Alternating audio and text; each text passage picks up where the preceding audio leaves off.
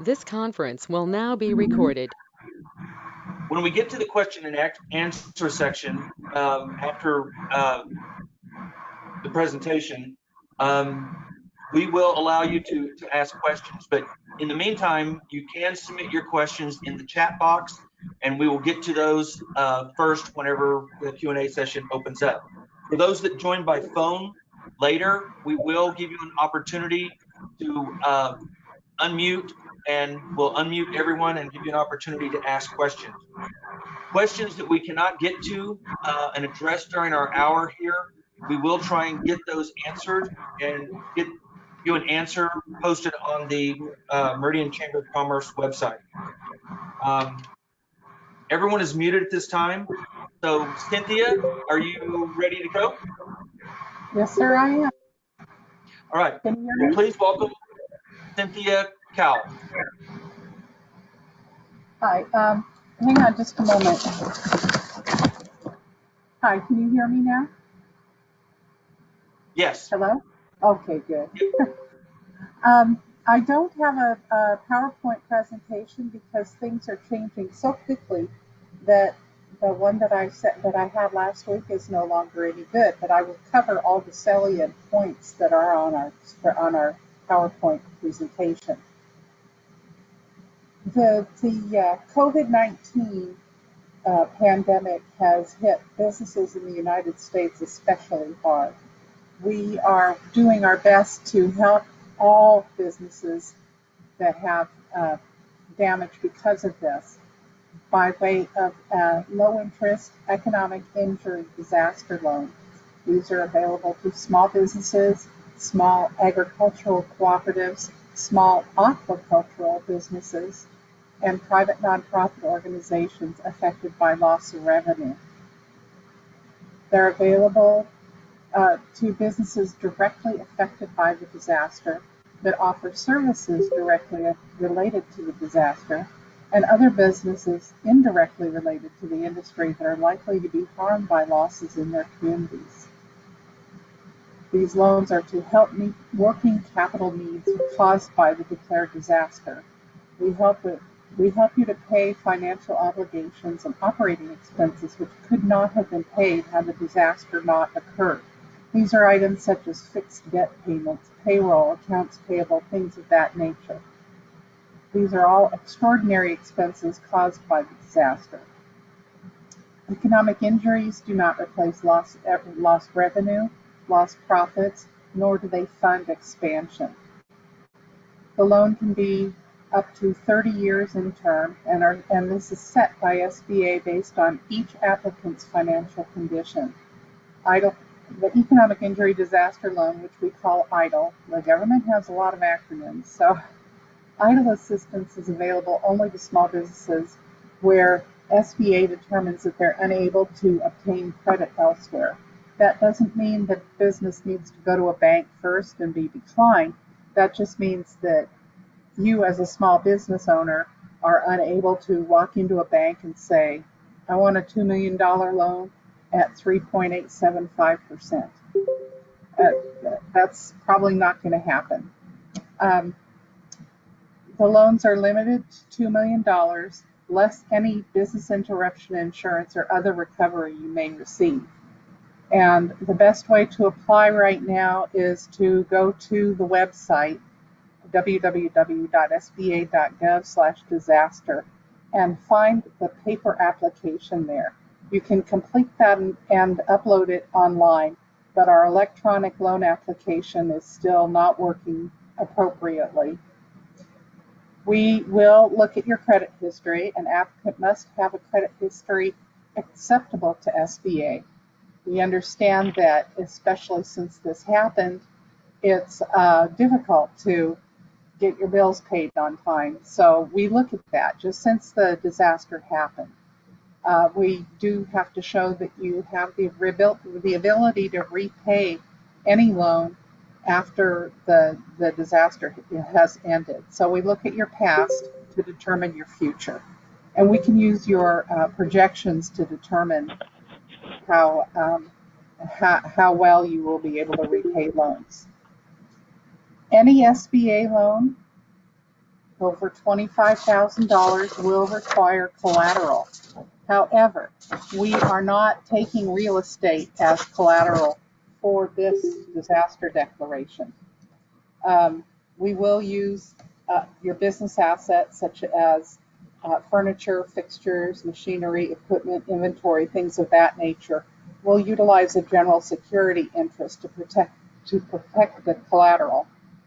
And these collateral requirements will be discussed during the, pro the processing phase.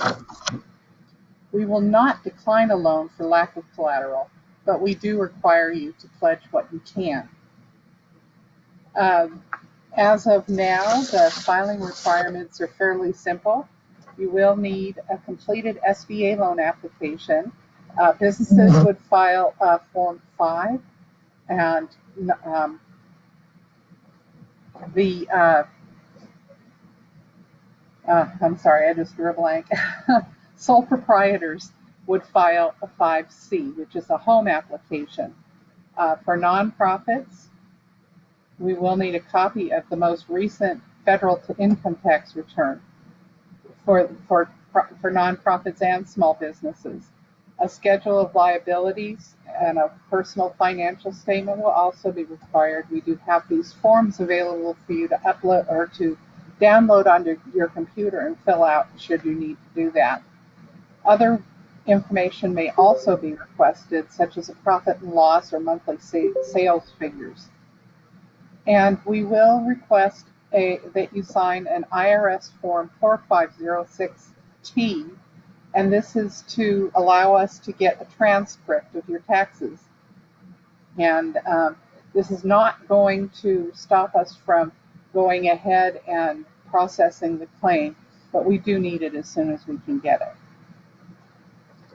Now, um, there are a few changes to this to the to the economic injury disaster loan program. Um, the the um, businesses are are eligible for phase one process, and that's just that's something you would discuss in processing, and that would be six months of working capital, not to exceed five hundred thousand dollars. And you know, we look at your at your ability to repay it. We're not going to saddle you with a bunch of debt that you can't afford. Um, for determining eligibility for an economic injury disaster loan, we begin with a four-part test. We check your location. You need to be in the disaster area. The disaster has been declared nationwide, every county, every territory. Um, but you have to have a location in the area from which you're submitting the application. If you live in Washington and your main office is in Washington and you just send things to Idaho to people's homes, then that would not be considered a location in Idaho. We look at your business activity. There are certain businesses that cannot get an SBA loan, and I'll go into that a little bit. And we also look at your size, the size of the business. We use the NAICS size standards to determine what business is small and what is not. And then the businesses need to be independently owned and operated. Uh, if you are owned by another business in another area, then that business would need to file where they are. Um, your primary activity must be an otherwise eligible activity. And uh, like I said, we'll go that a little bit. Um, as far as an independently owned and operated business, the principal must have a business risk resulting from investing in facilities and equipment and by incurring ongoing expenses. This is, uh, so for example, a crew member on a fishing boat would not be eligible for these because it's not his boat. It needs to be free from significant control over other concerns, uh, like the customers uh, or businesses that pay for your services. And then um, IRS guidelines state that merely filing a Schedule C with a federal tax return does not qualify the individual as an independently owned and operated business. And these are all things that will be discussed during the processing phase. ineligible economic injury disaster loan uh, applicants would be charitable organizations. Uh, chambers of commerce are not eligible. Uh, consumer and marketing cooperatives, except for small agricultural cooperatives. Gambling concerns, casinos and racetracks, and uh, concerns engaged in illegal activities, lending or investment concerns, speculative activities, pawn shops, real estate developers, multi-level sales distribution, loan packagers who derive 30% or more of their annual income from the preparation of applications seeking financial assistance from SBA, and concerns where the principals are incar- incarcerated on parole or on probation. The concern remains ineligible if the parole or probation is lifted solely because it's an impediment to obtaining a loan. Now, churches are eligible for secular activities only. They um, and and the activity cannot be um, well. For example, a church has. Uh, let me pull up my cheat sheet on this. Say a church has um, a feeding program or, or a daycare or something like that. Uh, we can help with that part of it as long as it is secular as it is secular in nation in nature. And um, the religious organization will be able to apply for EIDL funds to meet operating expenses that are specifically for the secular operations of the organization. And there will be a self-certification required for that. Uh, let's see. The, the ineligible uses of the economic injury disaster loan would be refinancing long-term debt, uh, repaying, uh, paying down uh, uh, loans provided, guaranteed, or insured by another federal agency, except for your regular payments that you already make in that. You can already do that. You can definitely use EIDL funds for that. You can't uh, refinance your home or your business uh, if you do get a bridge loan, that is not considered a long-term debt. If a direct federal debt is delinquent, say you owe money on your taxes, we must have a written documentation from the appropriate agency explaining how the delinquency will be cured. Maybe they are going to, uh, or maybe they have a uh, uh, payment plan in place and those payments are good. We will get uh, information to show that they're current. Now, if anybody has any questions, I'd be happy to, ask, to answer them. Rick York. Um, you're a lender here in town and you've already begun working with clients in regards to obtaining SBA funding. Well, the payment, the payment forgiveness element is is uh, pending legislation, and I can't comment on pending le legislation. So um, that's something you might want to check back once everything is done. You can check with your district office. Um, there will be items in the press, I have no doubt. But uh, at this time, this is not an SBA function. Let's see. BJ, Brianna James. If you already have an SBA loan on your business, what will the limit of the amount of money that you can get? The inventory you have is already collateral for the SBA loan that would be something you need to discuss with your um, loan officer. Um, I don't know what the workarounds are for that yet. Uh, Meridian chapter says, or Meridian chamber says, you remember you can submit your questions at any time. And I'm going to let him read them. How quickly are the applications being processed from the time they are turned in? Well, as you, I'm sure you understand, we have hundreds and thousands of businesses applying for an SBA loan right now. And we handle them on a first come, first served basis. Each application is individual to its business.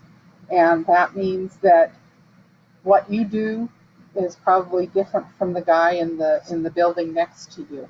And we give each applicant our full attention while we're working on it.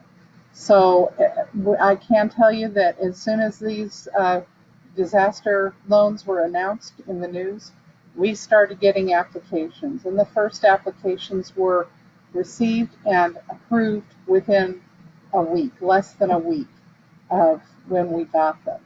So it depends on how, how complicated your business is, whether we have all the information we need, and um, quite frankly, the volume. We are we are training people every day to do this because we understand this is something that we just have never experienced experienced as a nation yet, and we are all in this as far as trying to get things squared away. Um, can an investment house under construction qualify for a loan? No, that that can't. That would be considered a, spec, a speculative activity, and we aren't allowed to lend for that. Um, what happens if a small business is declined for an emergency loan from the SBA? What would their options be? I would say keep your eye on the news. There are things that are in Congress right now, and um, there may be other help available.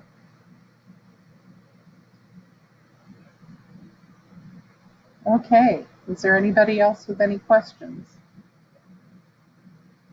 I'm going to turn this back over to Sean then. Cynthia, we do have some other questions coming in. I'll read those for you. Uh, I This is, this is, uh, we have a corporation whose main business is residential property management. Will these SBA loans be based on lost rental income or expenses that we will be able to meet based on a renter's inability to pay? Yes, you, you should apply as a, as a, as a uh, property management company. Uh, if your pa- renters aren't paying rent, you're not going to be able to keep up your standard everyday expenses. Uh, so yes, do apply. Okay. Does the EIDL applicant qualify for an advance payment that is made prior to full approval? No, we would need to approve it prior to disbursement of any funds.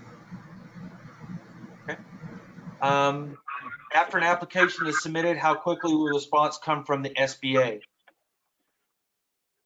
Well, in a perfect world, we would tell you by email right away. I understand that, that it's taking a little while for some people to get their emails from us, but we will respond as soon, as quickly as we can. Um, and in that, we will explain what type of information we, we need from you. Uh, One person asked, can you address the loan forgiveness terms? No, I can't. That is actually pending legislation, and I can't, I can't comment on that until we have some direction for that. I got a question. Yes, go ahead, Ed. Yes. Um, on the same note as the previous caller uh, or previous person talked about on loan forgiveness, what is the current understanding of loan forgiveness, considering that the SBA loans are going to be personally backed? Well, there, at, at the current time, there is no forgiveness for SBA loans. These are, these are, these have been around since 1953. They stopped uh, forgiving the loans in 1974. And so, um, the, there is no forgiveness at this point. So, what is the ter- determination on, uh, or the uh, the the rates, or do we know uh, much about how much a, business can get? Who determines that, and what's interest loan on that? Yes, the rates right now for a business are 3.75% for a business and 2.75% for a private nonprofit. This can be up to $2 million with a term of up to 30 years. And that all that is all determined in processing. I'm sorry, it's determined in what? In the processing phase. Okay. Okay. Thank you. Uh, We have another question. Uh, Our business owns 20 plus multiple residential rental properties. Do we qualify as a business to receive an, uh, to receive an EIDL to assist with mortgage payments? Well, like I said, we, we do use the NAC, NAICS standards for business size. That is something I would recommend that um, you can contact your branch office of the small or your district office of the SBA and they can tell you what the NAICS standard is for your particular business. Where is the best place to go to get help in understanding the applications and the complicated questions that are asked on it? I would suggest that you can call our uh, help, our, our customer service line at 800 659 2955, or you can um, email a question to them at disaster customer service at sba.gov and they can get back to you. You can even email them and say, would you please call me? Okay. Um, you mentioned earlier that phase one is a six month working capital. Can you expand on that and what are the other phases being proposed?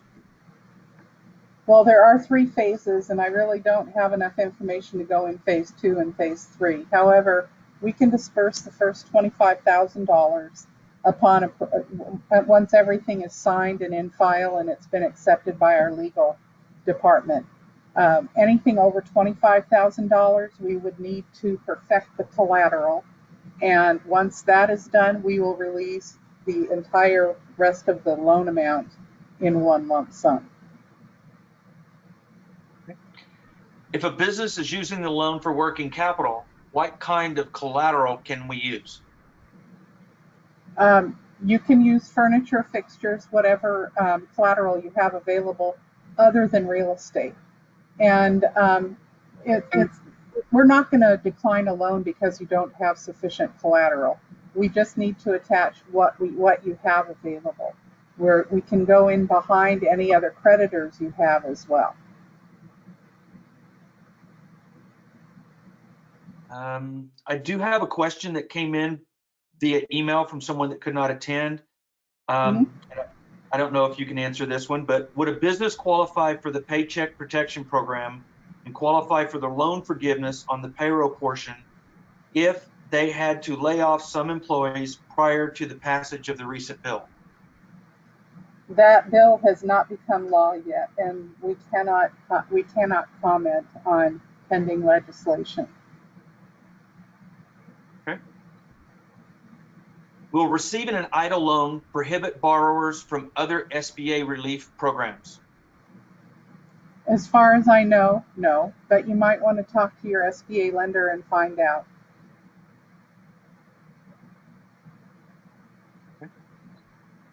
Uh, at this time, I'm going to unmute the people that are on just the, the phone call uh, so that you can ask questions um, since you aren't able to uh, input via the chat. So I am unmuting those now. I got a, thank you very much. I have a question. As far as a new business startup, how does this affect the, the uh, new businesses that are striving for an SBA loan?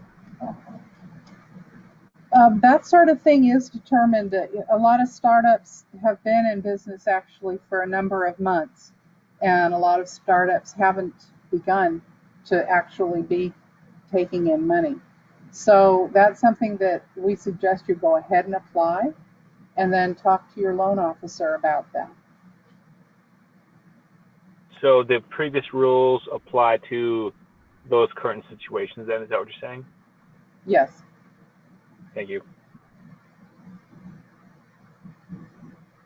Another question that came in on chat is, and I think you've answered this, but can we refinance our current SBA loan with this loan? No, you can't. Um, you can use the money to make your your routine payments. However, talk to your lender to see if it's been deferred.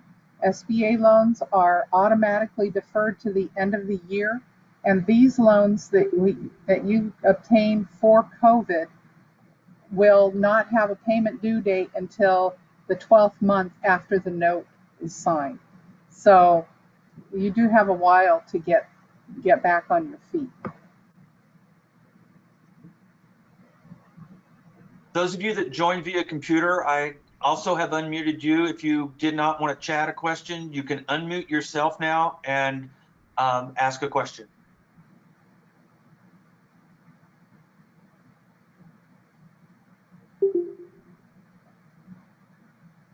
Uh, we've got another question on chat. if a bu- business has zero debt, does that work favorably in the decision for an EIDL loan? That certainly would uh, put you in the, the category of someone who um, has very few liabilities. Um, again, we would suggest that you talk to a loan officer about this. These loans are only for businesses that cannot get credit elsewhere, meaning if you have significant assets that would not be called to, into play for this disaster, then um, it may be considered a, a credit elsewhere type of thing. Um, we don't require that you drain all your reserves for this. We want you, your business to stay healthy and flourish. But if you're able to provide for your own recovery, then we will ask that you do that.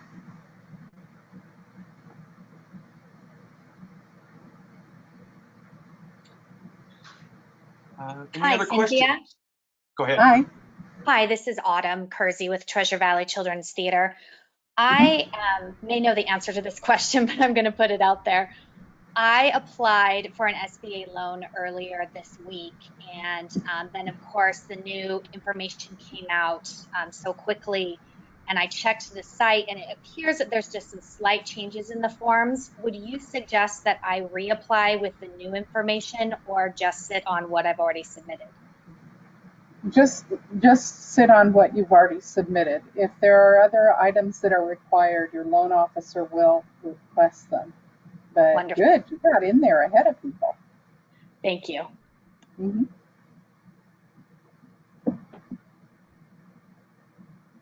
I have a question about the independently owned and operated. I thought you said something about a Schedule C. If if somebody does their business income through a Schedule C, are they eligible? Yes, they are. Just the fact that you file a Schedule C does not automa- automatically make you eligible. But yes, you, if you file a Schedule C, you can apply. Okay, thank you. hmm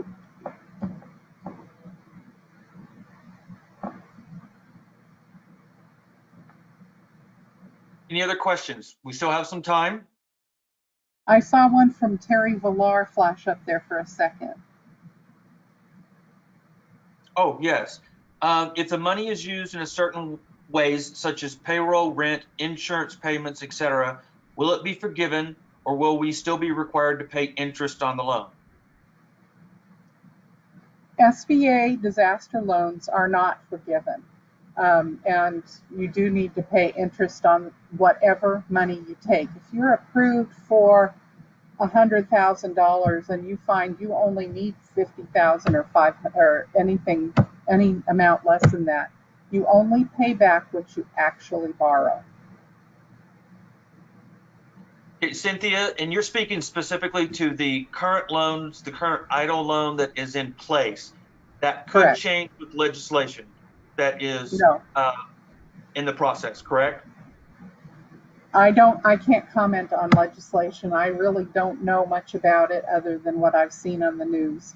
And I, I really can't comment to that until it is made law and we get direction from Washington about that. Um, but as of right now, the economic injury disaster loans are not forgivable.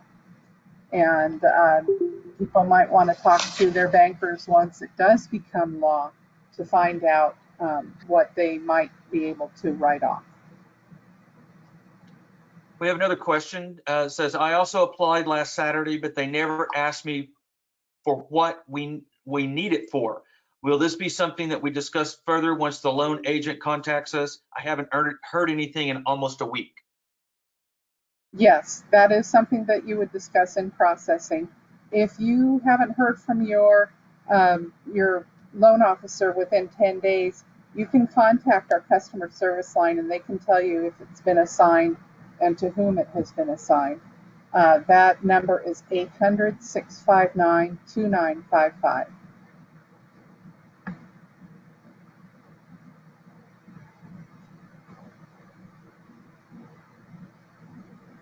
So I, I had a question about the customer service number you were talking about.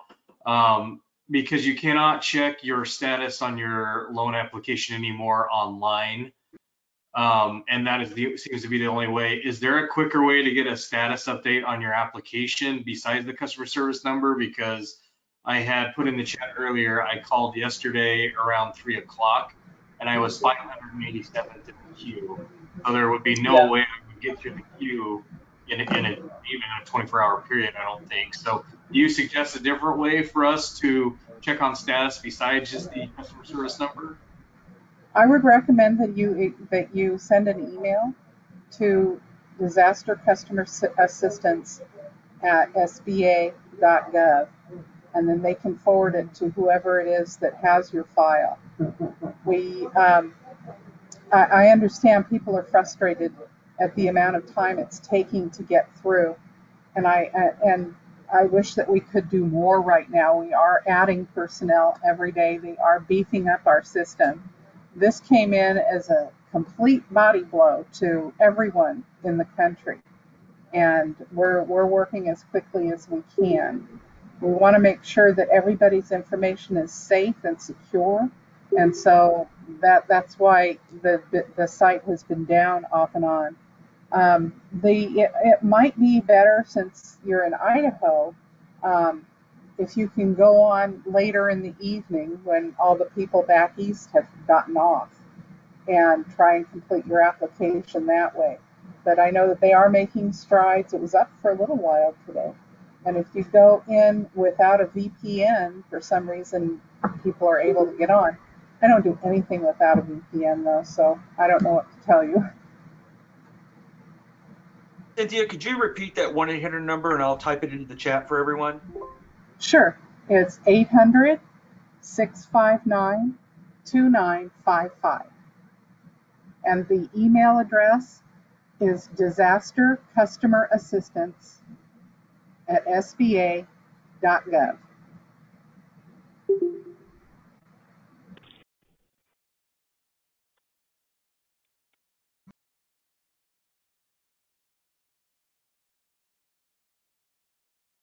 Do we have any more questions? Additional question about collateral. You said that you would take collateral. So does that mean if somebody applies for one of the disaster loans and subsequently decides that they want to apply for an additional SBA loan, you are going to be in a first lien position already, so that may prevent the lender from being able to move forward, or would you be willing to support me? Well, if you decide you're not going to take the SBA disaster loan, of course we would get off that lien. Um, but that's something that you would need to talk to your loan processor or, or your lender about, um, depending on which route you decide to go. Okay.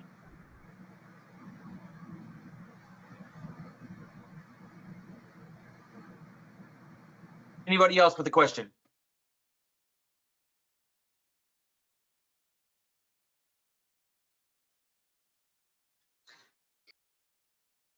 Okay, I don't see any questions in the chat. Uh, don't see anyone else uh, asking a question uh, on for the callers. Uh, Cynthia, I want to say thank you for being on today, and um, we understand that things are constantly changing, and we'll look for ways to continue to update our membership in the business community uh, as things become law and uh, the SBA may have some more guidance and direction on uh, the uh, the application processes and what would be covered and, and things uh, along those lines. Well, thank you very much, Sean, and I look forward to hearing from you. Excellent. Well, thank you all for joining us today, and we will keep you informed and, and turn to the Chamber's website uh, to see when we will have a uh, another webinar and another um, meeting to uh, share with you information as things become available. Thank you all and have a good day. Thank you.